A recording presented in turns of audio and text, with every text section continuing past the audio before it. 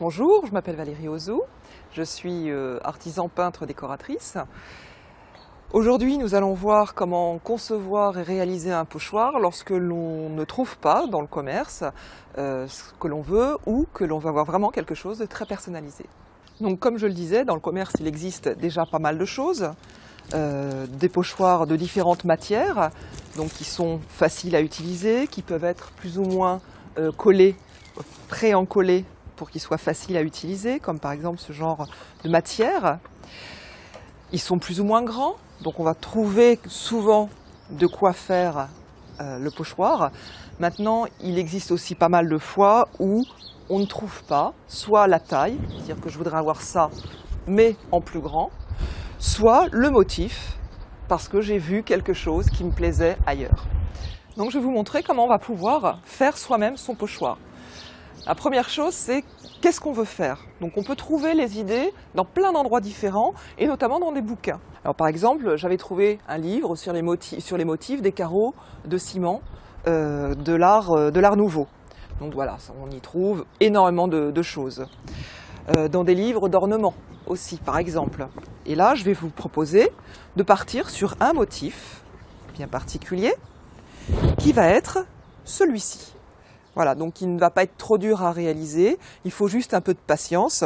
Lorsqu'on veut faire des modèles beaucoup plus compliqués, il faudra bien sûr beaucoup de patience. Alors, comment j'ai procédé? J'ai commencé par prendre en photo ce motif. Ensuite, je me le suis imprimé et j'ai regardé ce que ça donnait. La taille ne m'allait pas, je voulais quelque chose de plus grand. Donc je l'ai réimprimé en le faisant plus grand, ce qui va me permettre maintenant, en le recollant, de pouvoir faire mon découpage. Voilà, donc comme je disais, on peut vraiment prendre tous les modèles que l'on veut. Par exemple, il y a des tags sur des murs qui nous plaisent. Il suffit de les prendre en photo et d'utiliser la même méthode.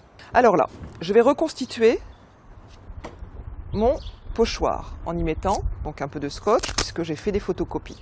Alors ce que je vous propose maintenant, c'est tout simplement avec des ciseaux reproduire, euh, reprendre le modèle. Donc on va redécouper le tout pour pouvoir ensuite avoir notre motif que l'on placera sur un carton, que l'on reproduira et que l'on recoupera au cutter. Quand euh, on a des motifs très précis, il faut s'armer de patience.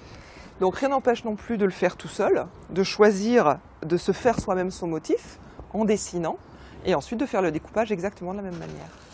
Voilà, j'ai maintenant terminé de faire la découpe, d'enlever toutes les parties euh, que je vais pouvoir reproduire ensuite.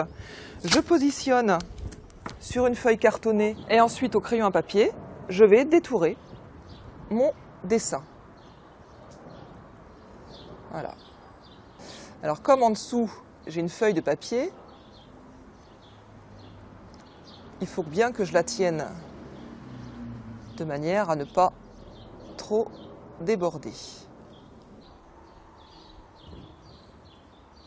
Donc maintenant que j'ai reproduit les grandes lignes de mes contours, je peux enlever cette partie-là, vérifier qu'il ne me manque rien et reprendre les parties qui seraient à reprendre. Pour m'aider ensuite pour mon trait de cutter, je vais renforcer les traits au crayon pointu, ce qui va me permettre ensuite de passer beaucoup plus facilement avec mon cutter. Voilà, donc j'ai plus qu'à découper maintenant. Alors on peut découper au ciseau, mais comme c'est un carton, c'est quand même plus difficile. Donc on va découper au cutter avec une lame bien coupée, donc juste coupée. Et bien on y va, on appuie, on fait très attention, jamais les mains en dessous, toujours au-dessus. Et on commence tout doucement. Et si on n'est pas complètement sûr, on n'appuie pas trop fort et on reviendra dessus. Et c'est parti pour la découpe.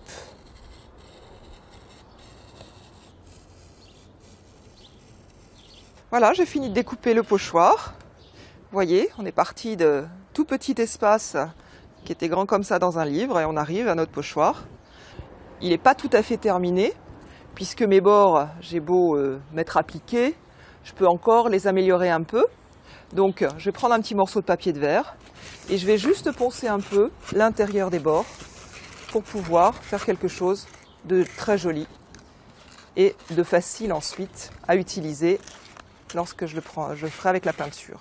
Voilà, donc je vous rappelle que nous sommes partis de ceci, qu'on va pouvoir nous positionner ça.